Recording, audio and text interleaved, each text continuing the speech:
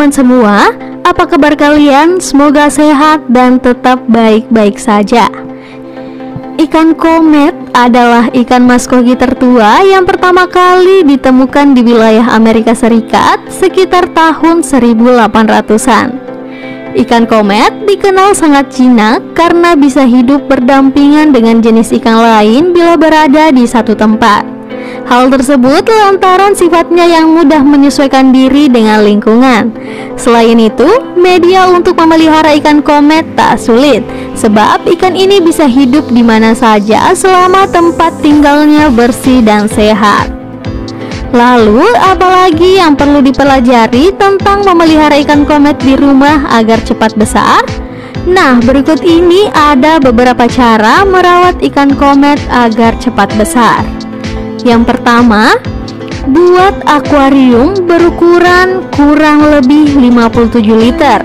Akuarium dengan ukuran tersebut akan membuat ikan komet merasa nyaman untuk hidup di dalamnya. Yang kedua, perhatikan kualitas air yang akan dipakai. Kualitas air yang buruk akan mengakibatkan ikan ini cepat stres dan akhirnya mati. Yang ketiga, pasang filter maupun aerator untuk menjaga pH dan kadar oksigen di dalam air. Tujuan lainnya agar air di dalam akuarium tetap sesuai dengan kondisi yang dibutuhkan ikan komet. Yang keempat, agar ikan tetap sehat, lakukan pengurasan akuarium minimal dua minggu sekali. Pengurasan juga akan mencegah terjadinya infeksi bakteri, virus, dan jamur yang dapat menghambat aktivitas berenang ikan komet dalam akuarium.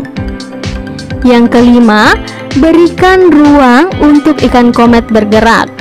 Sedikit ruang gerak dapat menyebabkan ikan komet cepat mengalami stres.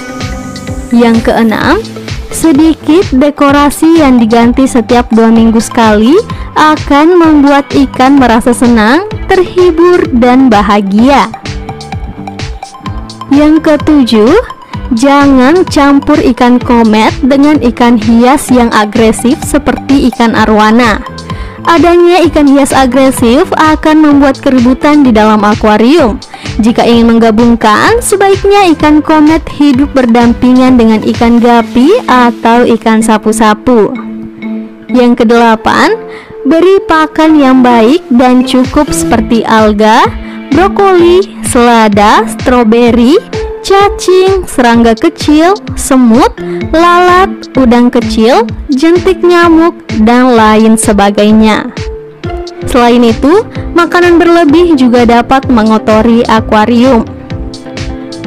Nah, itulah video kita kali ini mengenai cara merawat ikan komet agar cepat besar. Semoga video ini bermanfaat dan sampai jumpa di video selanjutnya.